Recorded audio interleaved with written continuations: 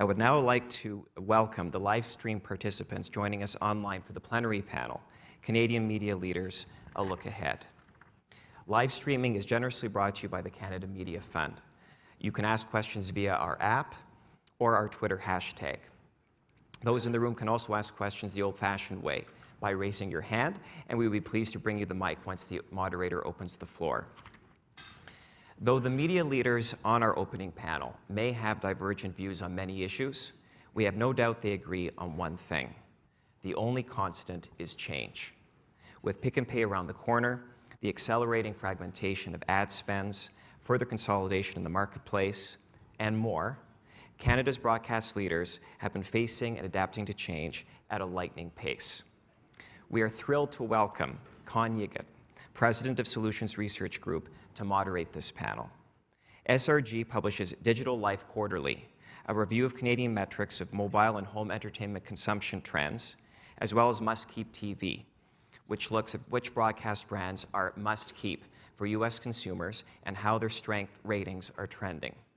Having worked as a consultant for virtually all of Canada's leading communications companies, Kaan is uniquely positioned to help bring order and insight at this crucial time for the industry. Please welcome the panel to the stage.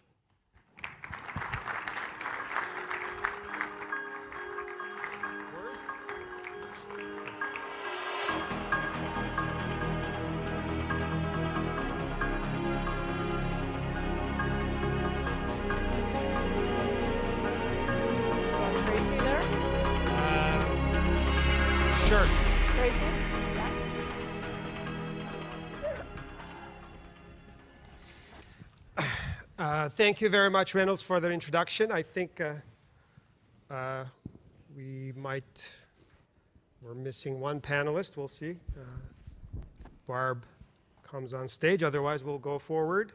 Um, it's a true honor for me to be moderating this panel of Canadian media leaders for the Canadian Media Producers Association, the newly rebranded.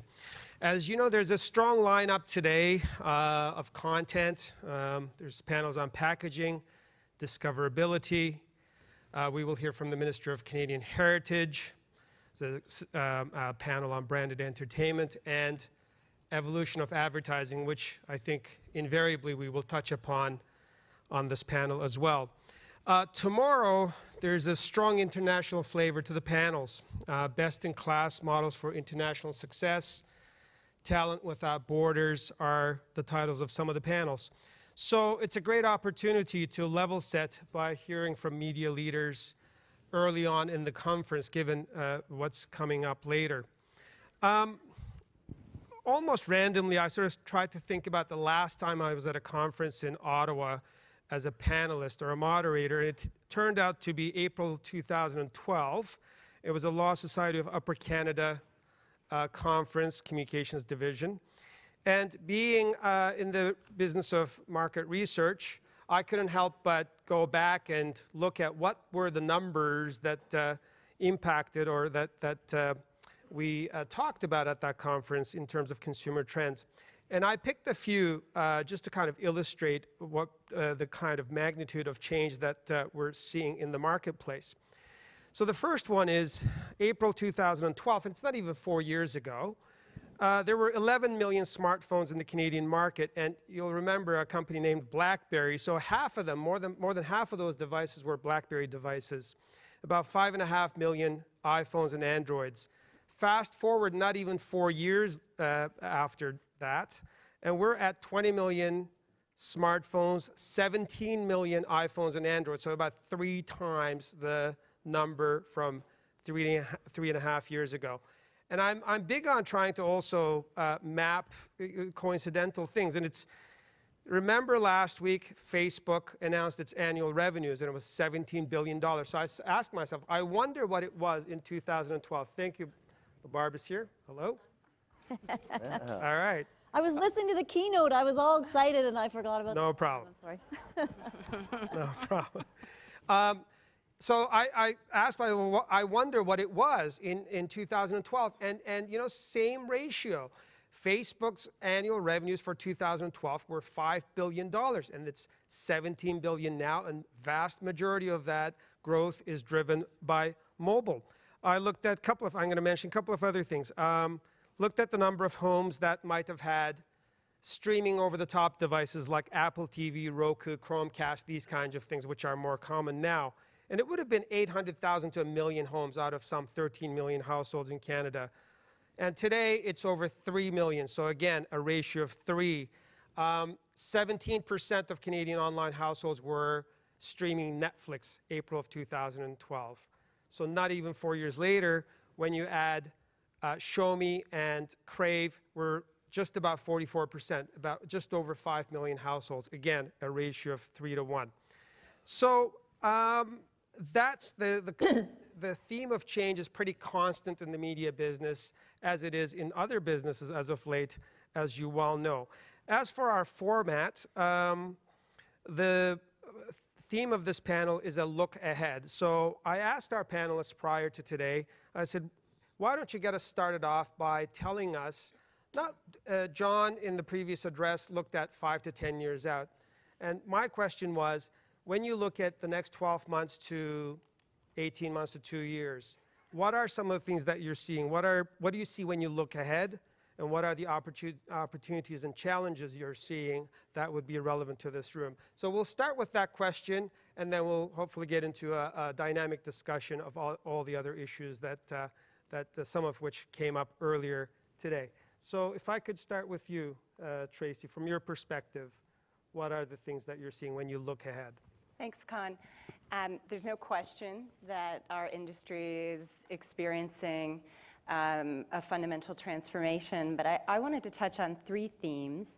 First, I think it's important to level set as we go into the conference that TV is alive and well. Um, secondly, I wanted to touch a little bit on Pick and Pay because as head of um, Bell Media Specialty and Pay, that's top of mind for me.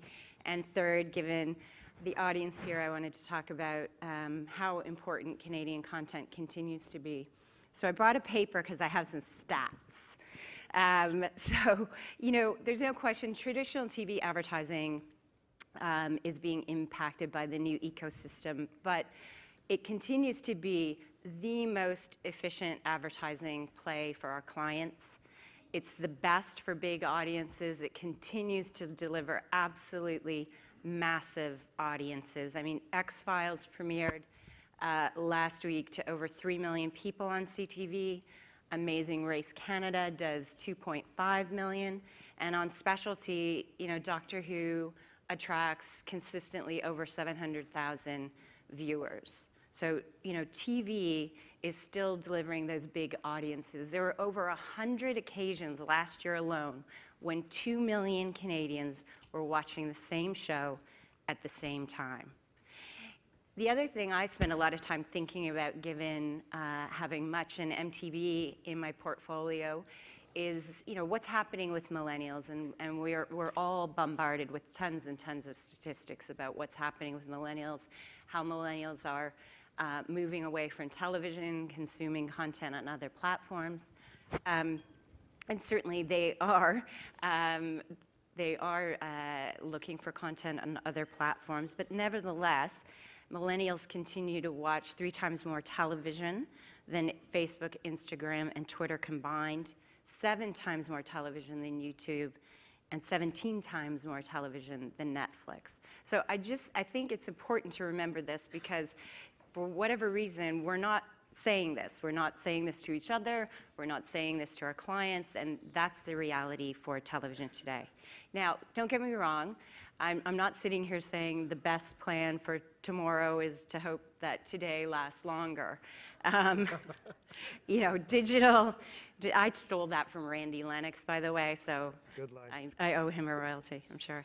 Um, look, digital, digital is meaningful. You know, we need to be there, obviously, with the launch of uh, much digital studios and with Crave uh, going direct to consumer.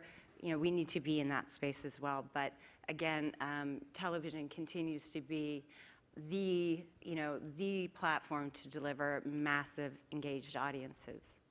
So pick and pay. Um, you know, I think our take on it is there are some choppy waters ahead. Um, I feel good about my boat. So, um, you know, we have really been doing a top to bottom review of our specialty channels. Um, we don't think that, you know, we're going to see massive change in terms of the distribution of the channels immediately. We see it as more of an evolution. That being said, you can't sit back. Um, you have to really double down on your brands. You have to sharpen up the channels. Um, we see exclusive content, including um, importantly Canadian content, as key to doing that. You know, you, you have to give people a reason to choose you, and they're going to choose you because they can't get the content anywhere else. They want to watch that content. They trust you to introduce them to new content, and they understand what your brand means and what, what they're going to find when they come to your channel. And lastly, on Canadian content, um, as I said, it's a key differentiator, and it will continue to be even more so that as we seek to uh, sharpen up the channels and, and make them a unique proposition. And, you know, we're seeing that already. Um, our Canadian content represents three of the top five uh, programs on Discovery. You know, we're absolutely thrilled with those shows, um, including Highway to Hell and Coldwater Cowboys and Canada's Worst Driver. Um, it's been a key driver on space. Killjoys, Orphan Black, and Bitten are, are critical. You know, and I'm, I'm going to leave stuff out, so I, brought, I better stop listing. But um, Canadian content is um, is critical, and I think the changes that we've seen coming out of Let's Talk TV um, isn't going to be bad for Canadian content. We're not in any way backing away from Canadian content. We're, you know, leaning into Canadian content. Thank you. Heather, what do you see from your flight deck? Well, uh, it's a nice segue uh, into the CBC because leaning into Canadian content is really all we do. Um, and we're going to do more of it. Uh, I think the challenges of the, the past uh, few years uh, in terms of our ability to buy uh, are easing somewhat. We're very hopeful, obviously, that uh, that is going to become even, even more the case going forward. Uh, as Tara, I think, uh, talked about in her interview this morning that many of you may have seen. The content we're looking for is increasingly content that can compete with some of that premium cable content, whether it's comedies that are a little edgier, single camera, or dramas, or uh, just content that you would not necessarily think of as traditional uh, broadcaster content. Um, you know, that said, I still think the challenge that we're all facing is the, the model for conventional television is under severe pressure.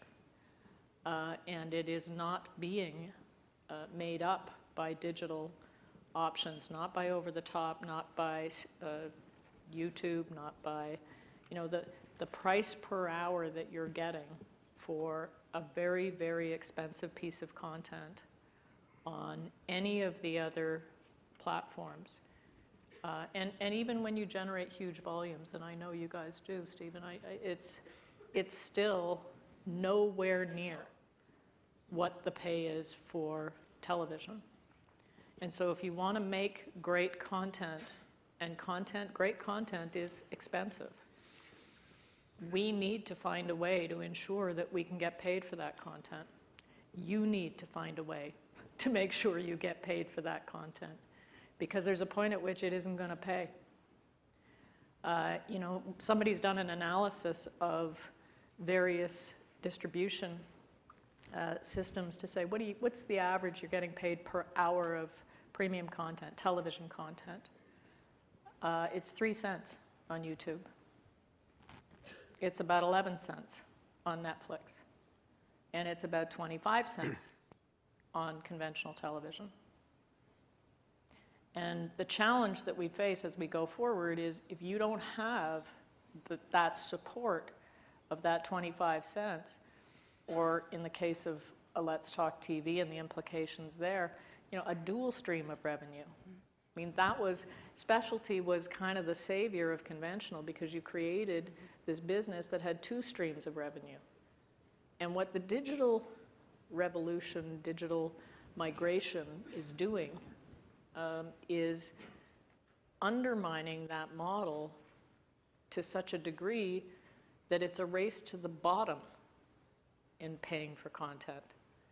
And so, I- mean, I don't want to be doom and gloom on the one hand because as the, the public broadcaster, as the buyer of huge amounts of Canadian content who wants more and more, uh, yes, that's, that's one of my messages. The other message, though, is we do need to figure out how to deal with the fact that the price for content is just being crushed further and further and further. And we've got to figure out a way to ensure that content creators get paid and that the people who commission and curate and distribute that content get paid.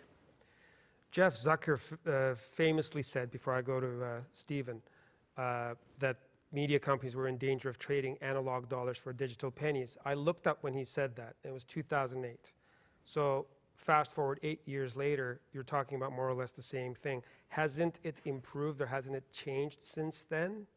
No, I think it's gotten even worse because you've got more and more people who are coming into the market who are not actually causing original content to be created, but are simply buying up already created content and trying to monetize that uh, through uh, advertising, display advertising. And, you know, I, I don't think people have understood that when Apple says it's going to allow ad blockers, all those internet companies that are just relying on ad revenue, that are all, everything's wonderful because we don't charge a subscription.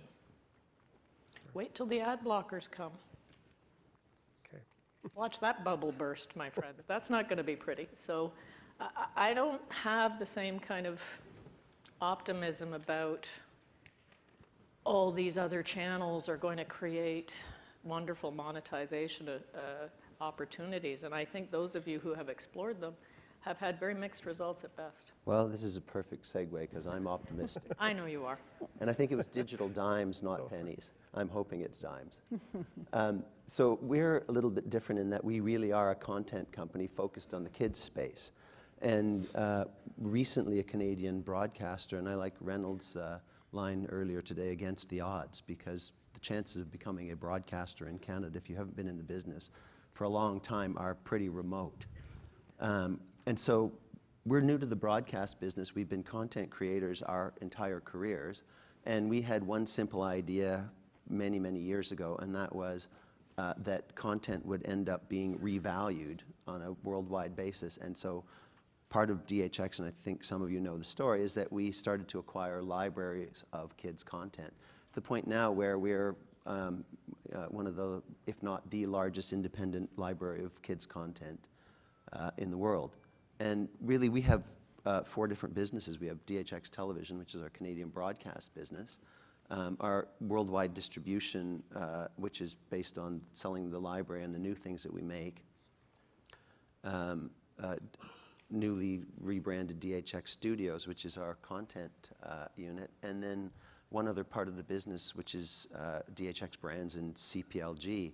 Um, we're we're Canadian-based, but we're an international company, and about uh, uh, 25% of our revenue comes from the Canadian broadcast business. So what we've really been focused on, as many of the producers in this room are, um, has been using the Canadian system and the Canadian model to create content that sells everywhere, ideally. Um, and the kids' broadcast space is a particular niche. Uh, and so when I go back to your question about what do we see uh, over the next few years, uh, we're really looking at the, and, and I've got many hats here, but uh, we're looking at what's going on worldwide, where those opportunities are to create content in Canada and sell it everywhere.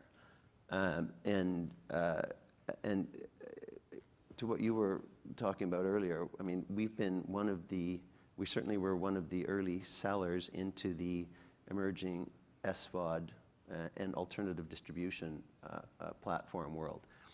And um, so I think for us, we, we are, we're having a hard look at what kind of content you can sell into that opportunity. And And I think that uh, while there is a, a, uh, an interesting opportunity, continues to be a really interesting opportunity in terms of traditional, whether in our case, 11 minute, half hour kids programming, um, for the content creators of the world, there's another different opportunity to create a, you know, different kinds of content for different kinds of platforms. And um, while we are focused, and uh, the bulk of our business is traditional television, it's some of those alternative distribution models. I, call it the democratization of distribution. Uh, for so long, there were very few gatekeepers. Um, and again, Reynolds was talking about that producer standing at the light, waiting to cross the street. When- When we started, um, when we started whatever the, uh, this company, some 20 parts of it 20 years ago, um, there were three or four clients in Canada, buyers. There were a handful worldwide. There has been a proliferation of buyers who are actually paying big money for great original content. But that's only one part of the universe. The other part of the universe for us is what's going on at uh, YouTube and some of these other alternative uh, uh, distribution platforms. Um, we're getting, with our library, 550 to 600 million views a month on YouTube. We're paid actually very well for that.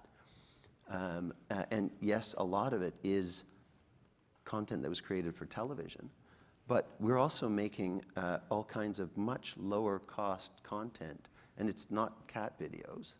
It's um, it, it, some of it is uh, uh, literally uh, focusing on some of the brands that we have that have been created really with the, with the, the television system um, and doing things like reading Caillou books, things that get literally millions of views with ads served against them. Please don't tell my child you have reading Caillou books. Yes, yes. Uh, um, or, and there's a, a, a wide range of other things that we're doing. So I think for us, um, uh, and, and, and I'll, I'll just come back to the Canadian television side because that is another, at DHX, another story in and of itself. Um, so we acquired Family Channel a couple of years ago. Uh, it, wa- it, it had 60% of its content was Disney for a long time. As many of you know, we decided not to continue with the Disney programming. And a lot of that is, the, the reason is that we wanted to spend the money that we used to send to Disney on uh, content that we're making for ourselves. So we've actually dramatically increased the amount of money that we're spending on content from Canadian uh, producers. Of course, some of it is uh, from DHX. But I think that the, one of the things, again, that we are seeing, and I- it's, it's, I think it's, it's really um, particular to the kids space, is every one of the producers that we're working with in Canada looks at us as a, you know, the Canadian opportunity and the kind of backbone of building a show. But they're focused on the rest of the world. They're focused on making those sales um, and uh, pre-sales to uh, key broadcasters in other territories. And that's increasingly what it takes. When you talk about the model, there's a couple of different models. Financing a show entirely from Canada is probably not the way of the future. Figuring out how to partner, especially with those emerging services. And, I, and I'll just go to one other example. We make Degrassi. We acquired uh, Epitome Pictures a couple of years ago. Uh, Degrassi, for many years, was on uh, TeenNick in the US. Well, they decided they were going to uh, cancel the show. When we then, literally within two weeks of being uh, canceled by Nick, we went to LA to pitch the likely partners. But it wasn't any of the usual suspects. It was Amazon, uh, Netflix, and Hulu. And they were all interested, and, they, and uh, Netflix stepped up immediately. And so non-traditional players, uh, and, and everybody I think here knows this, they are really driving uh, uh, the, the, uh, the original content world right now, and I think making all of, all of the traditional broadcasters really step up their game, us included. Thank you. Barb? So um, I mean, I share all of these views. Uh, I share their optimism and their pessimism.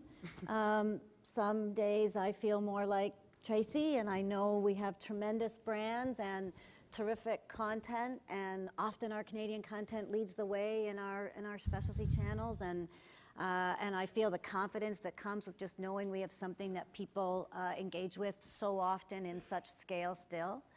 And then I have middle of the nights when I feel more like Heather, and I go, oh my God. Uh, the, you know, the traditional global model is a tough one and getting tougher. Um, I, I guess just to offer something a little different, I would go down one path that uh, we spend um, a lot of time and energy on. And that is, uh, you know, we sort of uh, three guiding principles uh, at, at Shaw Media. The first being that the customer is in charge. Uh, the second being industry solutions partner led, i.e., you can't do everything by yourself. You got to get out there and do stuff with people. And the third being that the future is not ad free.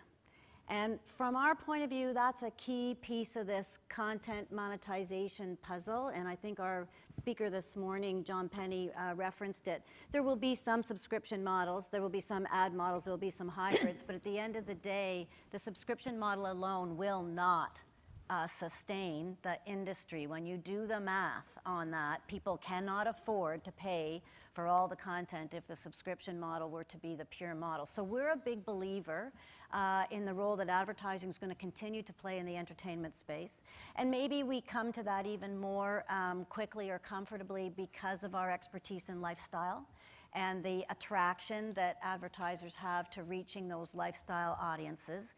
And we know that people are spending more and more and more time with more and more and more content all the time. So we know our problem is not the content and our problem is not that people aren't interested in it. Our challenge and our opportunity, we think, is to really be putting a new level of energy as an industry into understanding where those audiences are. Uh, it goes back to the time, place, slide that John had, knowing, uh, knowing way more about those, those viewers and those users of our content, knowing where they are, how they are, why they are, when they are, uh, being able to measure all of that, and then being able to monetize those audiences. And we really believe there's a, a, a lot of power, and I again quote a Shaw Media line, uh, in merging the intelligence of data with the power of television.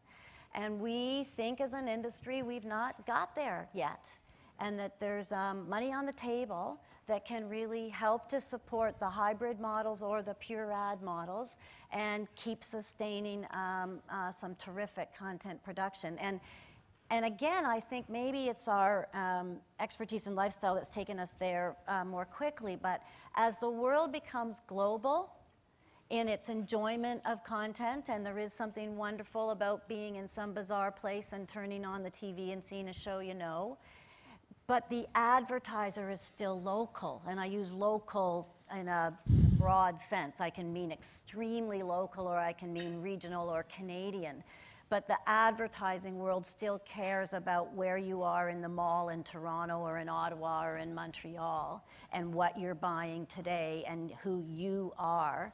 And so there's still a lot of relevance to the territory and the value of the distinguishment of the territory and the, and the value in those partnerships that can help us um, uh, you know, support the underlying financing of the great content that we are all so, uh, so capable of making and so interested in continuing to make. So I just think there's a world there that um, you know, we're all starting to play in a little bit, and the CRTC has a role in that that we're all participating in for sure. And there's huge privacy, you know, um, thoughts around all of that to be managed. But I think it's a place our industry needs to uh, put a little more time and energy in because I think it's part of our, uh, of our future and part of the solution, if you will.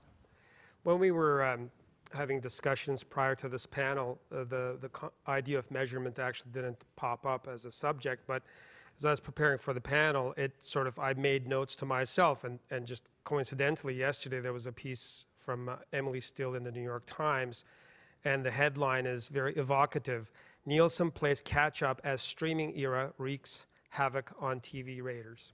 So I guess um, the question I want to ask you: How much money is being left on the table because the advertiser is actually looking for a more consolidated understanding or, or measurement of audience, whereas the current systems are able to only capture perhaps now 70% of that viewing accurately. And even if the other 30% is captured, it's really not presented as a whole, but it's, you know, somebody has to actually you know, come up with some predictive model to figure out what's going on. What's the role, and then what's, what's, what does that mean for the industry going for the future? Um, I'll pass it back to everybody else here in a sec, but I, I think, you know, we don't know precisely what money's being left on the table, but when we watch advertisers move their advertising dollars away from linear television services and move them to digital platforms, to a great degree, uh, the reason why they're doing that is because the, the commitment they have from those digital platforms to help them understand their audience and allow them to be able to target that audience much, much more precisely.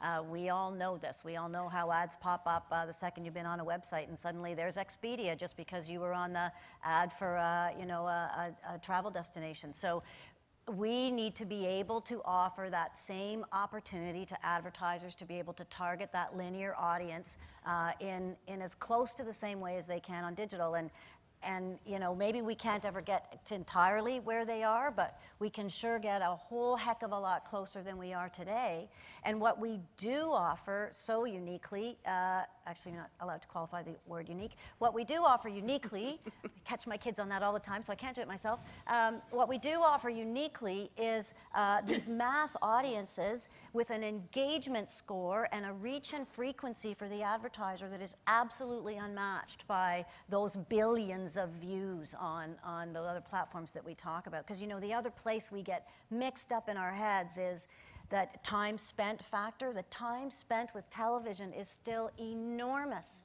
Millennials spend way more time spent with television than they do with YouTube uh, you know, views. Those views are massive, but they're 30 seconds at a time, and it takes a really long time to get to the time spent of TV. So advertisers know that.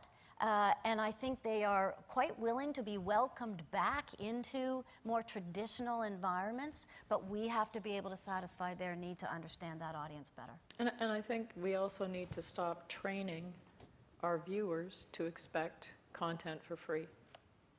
And that's what happens with a lot of the OTT, is you are training an entire generation that content is free.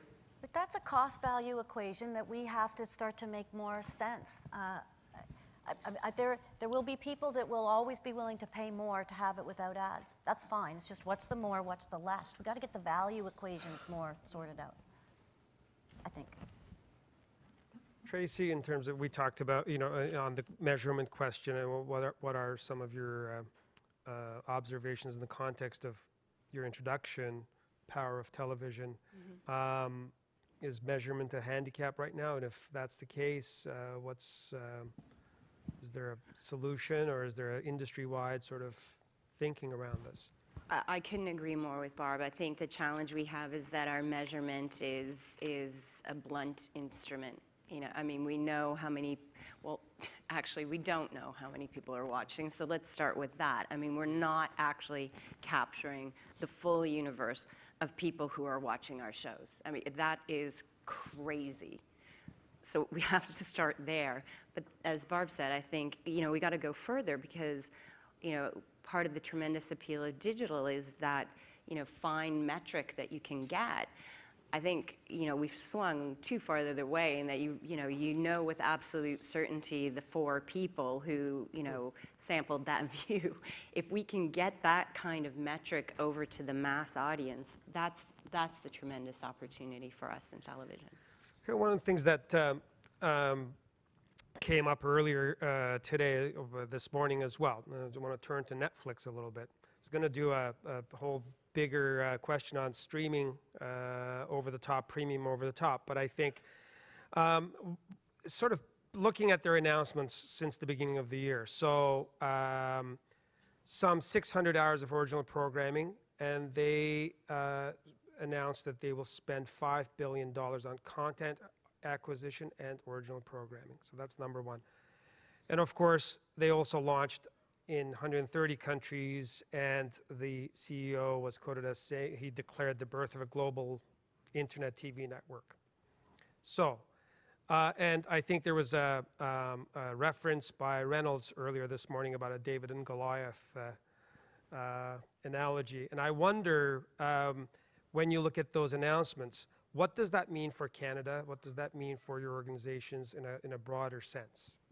Well, well, first of all, we love to hear that somebody's spending $5 billion on content. uh, so, you know, uh, rush for the uh, development slate and go pitch uh, is the first thing as a, you know, from our content creator side. But um, I think that they're just, they're, they're one example of, um, and the biggest example of, uh, of key players right now um, really putting a stake in the ground and, and uh, in a way, they're kind of they're creating a different kind of content that than television was creating for a long time. So, uh, uh, and it's not just them; it's Hulu, it's Amazon, it's really a, kind of across the board. So, um, uh, I mean, obviously, Netflix is one of the key disruptive forces. When you talk about measurement, of course, they famously do not share uh, any of their statistics. So even with the producers who are selling content to them, we don't really know how those shows are, are doing. So you get no data back whatsoever? No, no. Uh, and, and interesting when you talk about ratings as a blunt instrument. So you have on the one hand, Netflix, we know how many subscribers they have. You don't know how many of their subscribers are watching particular shows. The blunt instrument of, uh, of, of ratings in traditional television. And then, um, and, and, and by the way, uh, go, to go back to YouTube, YouTube's gone from number of views to number of minutes watched uh, as their kind of key metric. Um, uh, and it's not all just 30 seconds. I mean, we're seeing compilations, you know, half hour, 45 minute compilations of content being watched all the way through. And now, again, that's particular to the kids space. So there's the irony with, uh, with uh, YouTube is that, you know, uh, you know how, how much they're watching, you know where they are, you know what device they're watching on, but you don't know who they are. You can assume, in our case, that they're kids, unless it's people watching Teletubbies after midnight on Friday.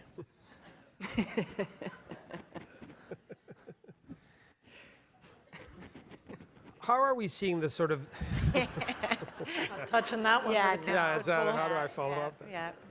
Yeah. Next. Wow, yeah. Um, so I guess the broader question there is that how do we see the um, uh, premium over the top um, market evolving globally and in particular in Canada as well? Uh, so you look at the U.S. marketplace, you've got obviously Netflix, Hulu, and Amazon Prime, and that market is expected to triple in the next four years in terms of uh, revenues to about something in the order of 12 billion. Uh, I think Reynolds mentioned it this morning. The Canadian market is probably $400 million in subscription revenue. Uh, that's going to increase presumably at think- I- I probably a similar rate. The challenge for us as, as a public broadcaster is the, the global rights piece. And that, uh, you know, global companies with $5 billion to spend on content um, are buying up global rights. And so, you know, if we're trying to nurture a Canadian documentary um, culture, if we're trying to support uh, Canadian producers who then can't offer their product to the, the public broadcaster because they've sold the global rights to Netflix, um, and they're bypassing the system, great, but it's just increasing the cost to everybody else. uh, a- And in competition, as you say, with a company that's not really part of the ecosystem. And so I think, you know, it, it's very disruptive, and it's not anti-Netflix. I have Netflix, right? We all have Netflix. so it's, it is a great value proposition, but it is training us all in a certain way to say, well, I can get a lot of content that I used to pay a cable subscription for. I mean, I still do. Um, Thank you. but it's not, it's Rogers, unfortunately. I'll, I'll talk to you about that later. Full disclosure. Um, Five. They, um, but, It, it but- won't be after you see five. but I'm paying, I'm paying what, what I actually know because I am a sophisticated part of the industry, so I actually know that getting 200 channels for the price that I'm paying is a good deal, mm-hmm. and that in five years, I'm going to wish this day was back, right? I'm going to look at post Let's Talk TV when I've got to build this very expensive package. I'm also going to have Netflix. I'm probably going to be paying for shomi and Crave and all the rest of it to get all the pieces that I want, and I'm probably going to end up paying more. Right? I'm actually getting a pretty good deal today. And I think it's unfortunate that the, the leap to choice without the filter or enough of a filter uh, on what this ecosystem needs to survive. This is not the United States. This is a different ecosystem for content creation and distribution. And I do think we're in an incredibly disruptive period that's even more intense when you're in a relatively small marketplace that has needed and has come to a, a, what was, I think, a pretty good accommodation across the board of all the different interests. And it's not that I'm anti consumer or anything else. I just think the consumer may not realize that the deal that you have right now is actually not a bad one. Uh, One follow-up on that, and I think it just triggered something. Uh, From a subscription revenue standpoint, uh, US versus Canada is, is very comparable, but from an ad revenue standpoint, actually uh, supports the point that you just made. Uh, There's about $70 billion in ad revenues for, broadcast and what they call cable, what we call specialty in the US, versus about 3.5 to 4 billion. So it's not really 1 to 10, it's more 1 to 15. So this market, from that standpoint, is not only a smaller market, uh, but also proportionally smaller too. Well, and, and ad agencies are starting to do global sourcing. yes, And so they're looking at various markets and they might say, oh, look, there's a place called Ontario. It's, let's call that Czechoslovakia in our model. And they may be Yeah. right in terms of what, what that model pops out for what is the, the proper spend in that marketplace. And so as you deal with global content creators, global, global content buyers, global advertising agencies, uh, you know, your ability as a, a proud Canadian to try and uh, really use the levers that you have, they're just getting less and less. And so it's not that I'm not fundamentally optimistic. I actually feel pretty good as the public broadcaster sitting here uh, because the mandate's clear, the, the lanes are very uh, defined, uh, and we know what our role is, and we, we have a, a get the right rights strategy that, that basically says, I don't actually have a giant international business or channel that I've got to get global rights and get the rights for Japan and this and that. You know, I, I know what I've got to get for Canadians, but I, would, I don't envy my colleagues on this panel of, of the competition that they're facing now. the um, subject obviously is always in the air, the vertical integration, uh, and I wonder in the context of what we know Netflix is doing or will be doing, uh, and the size and scale that they're achieving, and the the sheer amount of data they have about their viewers. Um, and when you look at a domestic market like Canada, uh, uh, and we look at it and say there's concentration, uh, I wonder, and I'm conflicted on this because I could argue, as a have a degree in economics, probably for both sides. Uh, can we really compete in the, on a global stage with that scale within the domes- domestic market? Because it kind of connects to the kinds of transactions that we, you know, just last week, Corus versus Shaw Media, or uh, combining. Um, wh- wh- what's the sort of where's the ro- what's the role of scale in the Canadian market relative to what we're seeing globally? Barb, do you want to? No? No, come on. Was No, that a no. soft lob? Yeah, that, no, that was sort of um, under, um, whatever.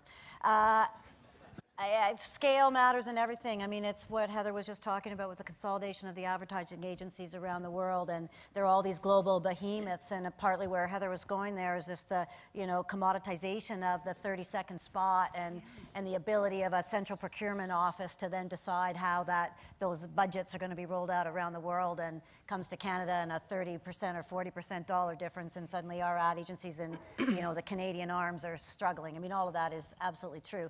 Uh, Global scale is a meaningful thing, and then you can take that down to any territory you want, and scale within it is going to be important too. So I don't think we're going to get away from, uh, as, as a world, as a society, as a, uh, just the way uh, we've accepted a global marketplace for everything. I think it's naive to think that our media industry is not going to get caught in the need for scale too. So sure, scale is important. I, I do think Yeah. one of the, one of the bright notes is maybe, um, you know, if you look at the cost of operating a Netflix or a Crave or a shomi, and obviously we have people here who can speak more to that, um, to, to manage just the kind of technology investment and customer care investment in that um, is allegedly uh, between a 20 and 50 million dollar a year business just to manage that.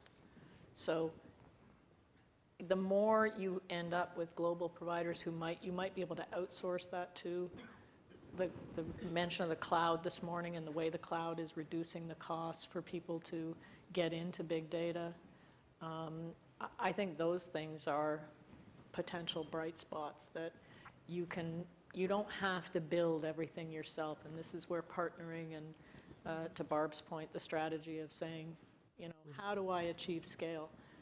you know, the same way you've always achieved scale. You can build it, you can borrow it, or you can buy it. And borrowing is not a bad idea uh, if you're looking at trying to enter the big data field.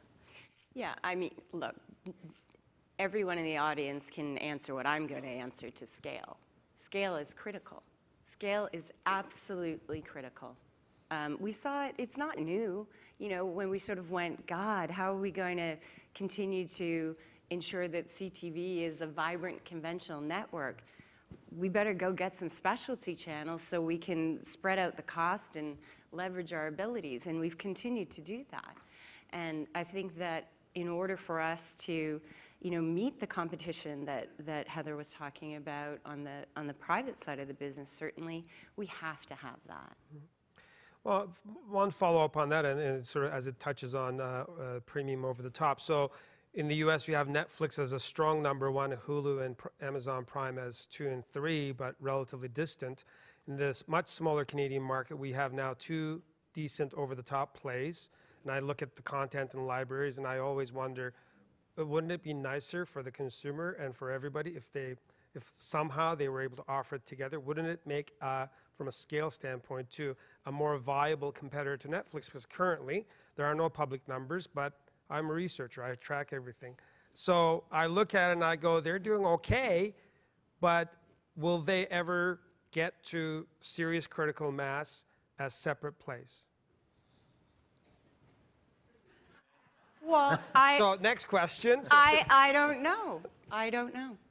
I think Yeah. both companies should be applauded for their willingness to go and disrupt themselves and get into this new space and not be the one sitting here moaning about how Netflix is taking over, but get out there and play and try. And I think lots of others are going to offer OTT uh, experiences in Canada with small subsets of kids programming or who knows what. Um, so I think we all need to be playing in this space and just as there's been consolidation and change uh, throughout our industry as long as I've been in it, which is heck of a long time now, uh, there may be consolidation and change in the OTT space, and that may be consolidation in Canada of the players that exist. That may be consolidation in the U.S. of the players that are fighting it out. I mean, I don't think they are um, immune from all the same challenges that we we're all facing, right? Steven, you looked like you were itching to speak there. No. No? Well, um, I, I do applaud uh, the, the, the startup of those things. I just wonder what took so long. Because, Thanks, Steven. well, because it seemed, you know, we could see this happening in other territories. And, and here we have this Canadian system that's a fantastic system and the envy of, you know, other countries around the world. But with the incumbents, I, I, I mean, I'm serious. I wonder why it took so long in this country to, for them to get to those kinds of offerings when we could see them happening in the rest of the world. Anyway, there may not be an easy answer to that, but congratulations. Probably not. It's. Getting there anyway. Well, I have a, a number of other questions, but I, I'm seeing that we have uh, less than 10 minutes left uh, in our time slot. So, uh, want to sort of look around and, and see if anybody has uh, any questions for our panelists. Um, I don't know if there's somebody with a microphone around, but I would imagine so. I see a hand going up. Go ahead. Oh, you have a mic, but we don't have a questioner yet. All right, so um, should I touch There's- upon? There's one over, there's a person over there waving. Uh, Just to Don't pick be up- shy. No, Janice Dodd, just to pick up on the disrupting yourself, um, what is CBC's thought about disrupting itself? I do, I do notice that CBC has leveraged the YouTube platform for kids, but will you go beyond that and create your own uh, delivery, over-the-top delivery service? Uh, Well, we're disrupting ourselves in lots of ways, and a lot of it is experimental. As you know, we have um, done a deal with Fullscreen, which is the world's third largest multi-channel network manager of YouTube stars. And so we're partnering with them to look at, you know, what are the top few hundred Canadian YouTube stars, and is there an opportunity for us to get some learning from them and for them to get some learning from us? Um, I think we are without a doubt, uh, one of the most successful digital uh, content distributors. And, and to be fair, and, and I'll acknowledge it up front, the vast majority of our visits to our site are news, right? People are very much attracted to uh, cbcnews.ca. But we're building um, uh, views and, and content uh, to the rest of cbc.ca. Uh, In terms of our player, uh, we are currently revamping the player, uh, and we'll continue to invest in that. We'll continue to invest in data analytics. Uh, The biggest challenge that we have is not the mindset of how do we disrupt ourselves. The biggest challenge we have is financial. Uh, It costs a lot of money to do what you do and then do all this other stuff. And, you know, that may be the answer to the question of why did it take you so long? Um, it, it costs a lot of money to run almost parallel worlds. And what's becoming increasingly obvious as well is that simply multi-platforming the same piece of content is actually not a winning strategy. So the kind of anytime, anywhere, get the same thing, as we're discovering, and, and news is a great place to learn some of this stuff, when you want a piece of content on your mobile phone, it is not the same piece of content you want uh, if you want to sit down and watch The National. You know, there are different, different devices uh, create different expectations for people. And so a mobile phone is all about what's new. When I open my mobile phone, I want to know what's new, what's, what's happening. Is it a new piece of information? Is it a new email from somebody? Is it an alert? Uh, It's a very different experience that I want. Uh, and so, again, to multiplex is, is just uh, one approach. What really is starting to become apparent is you've got to customize each uh, for each device. And so it, it's not that we're not prepared to disrupt all day long and be experimental, and I'm sure everybody here would agree. It's just every one of those things costs money. So, Are there other, there's one question there. It's nice to uh, have three out of the four bigs up here um, on stage today that uh, this question can be asked of. And I'm not sure whether you can provide an answer, but I'd love to hear your uh, feelings on this. My name is Jim Craig. I am a um, educator and a broadcaster over five years in the industry. I've seen incredible change, and especially technologically. As an educator, I'm a professor and academic advisor dealing with students who are looking for jobs in the field. And I'm at Seneca College, Seneca at uh, York campus. Back about seven years ago, Jed DeCory, um, who was the chair of the uh, School of Communication Arts uh, at that point in time, and I uh, appeared before the CRTC, essentially saying we need money because the industry and the industry as a whole, whether it's film or television, and we, uh, we're of course talking television here this morning, but um, the industry as a whole is looking for us to graduate students uh, who have been trained on the latest cutting edge equipment, or they won't hire our students. And of course, education needs money coming in from something more than just tuition and grants from the government, et cetera, et cetera. We don't get the money from the industry. Um, and uh, I think Barb mentioned here or used the uh, phrase industry solutions partner led. Well, we are partners with you people. We're providing you with the individuals who come and work in your industry and are ready to roll up their sleeves and uh, get to work as soon as they're, they're hired. So uh, my question to you is, do you understand the importance of having that pool of people available to you? And do you understand that perhaps, maybe, um, some of the monies that uh, change hands in transactions, such as perhaps the um, Corus and uh, uh, the Corus alignment and Shaw alignment coming up very shortly, or the Bell, as we spoke to back seven years ago, that alignment uh, with Astral happening at that point in time.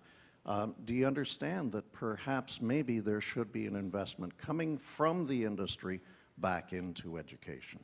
Ca- Can I, I'm going to jump on that one, because when we bought Family Channel, of course, we had a benefits package, and what we chose to do with some of the benefits money is create um, a- a paid internships uh, at, uh, um, uh, uh, sorry, at uh, Nova Scotia College of Art and Design and at Simon Fraser University in Vancouver. We think paid internships in this business is actually a great ramp for uh, newcomers to the business. Uh, and we also dedicated some of the money uh, to the Canadian Film Centre, which is really post like pro, postgraduate. So uh, from our point of view, yes, actually, in terms of benefits money, we think that's a really important uh, uh, thing uh, area where that should be directed. And I can tell you that I actually started many many years ago, many years ago, as an intern um, at a company called Alliance Communications. Uh, and it was Telefilm, Telefilm Canada actually had a program for paid internships. So from, first of all, I'm the living, breathing example that those things work, kinda. Um, and, uh, and, and we, we've put some of our money into those kinds of programs. And I actually think uh, Corus did some of that at, at one point as well. So uh, it's, it's, the, uh, it's, the thing about the benefits money is it's irregular. Uh, it comes up just once in a while. Um, uh, and uh, you know, this industry has been, I think, notorious in the past for having unpaid interns. We don't think interns should be unpaid. We think they should be paid. And by the way, the um, CMPA has also had an internship program as well. So there's a bunch of those things across the industry. Um, your students should know about them. I just wanted to jump on that and say that um, we do, we know it's, it's very important, and separate and apart from benefits money, Bell has a huge commitment to a grad program, um, which has been acknowledged across campuses as one of the, if not the top grad program. Obviously, that includes Bell Media, but also Bell TV and broader Bell. And at Bell Media, um, you know, we also run um, a producers lab program that lasts two weeks. So I think you're, you're right to highlight it it's very important that we continue to be committed to students. I- do think, if I can just jump in, and, and we do lots of journalism internships and all the rest of it, and I think everybody here um, does their bit. Uh, I do think your point that if we want to have a strategic uh, economic uh, engine in this country for this sector, that we do need to partner with educational institutions to ensure that there is a constant and high-quality flow uh, of uh, creative uh, people across the board into the sector. Uh, And that's something that we have to work together as an industry and with our governments uh, to create. Yeah, it's top of mind for me too, with my teenage son showing, you know, strong interest in communication arts, and I wonder where that goes for him. So, um, but uh, uh, we're, our time is up. Uh, as I'm sure you will all agree, uh, we could have another hour here to talk about uh, various subjects that came up, but we don't have that luxury. But we have an entire conference today and tomorrow to expand on some of the points that were raised here. So, thank you very much, uh, Barb, Steven, Heather, Thank you. and Tracey. How are you, Dad? Thank you very much to the panel. Thank you, Kaan, and everybody. Um, so the two breakout sessions that are going to be happening now are the art and practice of strategic packaging and discoverability, leveraging partnerships to win. Um, they're just across the hall where the party was last night. Um, this year, again, we have the overflow room. So our room producers in those rooms are going to be making a decision at the last minute which room is fuller, and that uh, session will also be uh, live streamed in the overflow room, and you'll be able to ask questions via Twitter or the app. Um, but that still leaves you with a problem, doesn't it? How do I choose between two such remarkably compelling breakout sessions? Um, we have solved this problem for you. Um, the breakouts are going to be recorded, and they're going to be available as podcasts on iTunes under the Primetime Anytime brand. Uh, with the exception of one of the breakouts, they'll be available uh, Monday at the very latest. Um, the live streams will also be available as podcasts on YouTube, and in addition, uh, sorry, on uh, iTunes. In addition, the live stream sessions will be available on YouTube as videos. Um, so the breakouts are about to start. You've got an extra short uh, networking break right now, and I would ask you uh, to please, after the, the breakout sessions, please try to come back to the ballroom uh, promptly. As you know, the Minister of Canadian Heritage is coming, and her session is going to start at noon, so it's a bit of a squeeze. She's on a tight timeline. We'd really appreciate your help. So thanks for a great morning. Hope you enjoy the networking break and the breakouts.